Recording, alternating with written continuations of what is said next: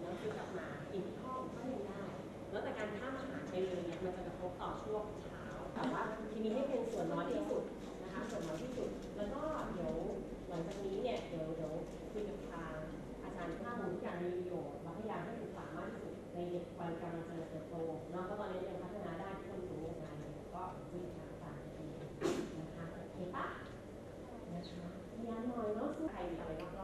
อบ ใช่ไปจะอดอาหาร การอดอาหารเนี่ยเป็นสิ่งที่ผิดตอนวันเย็นทานให้ครบมื้อว่างมีไหมทานให้ครบก่อนนะคะแล้วเนี่ยอันหนึงอันที่หนึ่งเราจะมั่นใจแล้วว่าอันที่หนึ่งเอ้ยกล้ามเนื้อไม่หายก็ก่อนว่าเฮ้ยใช่เลยที่ดึงพูดมาเรากินทั้งหมดเลยใช่ไหม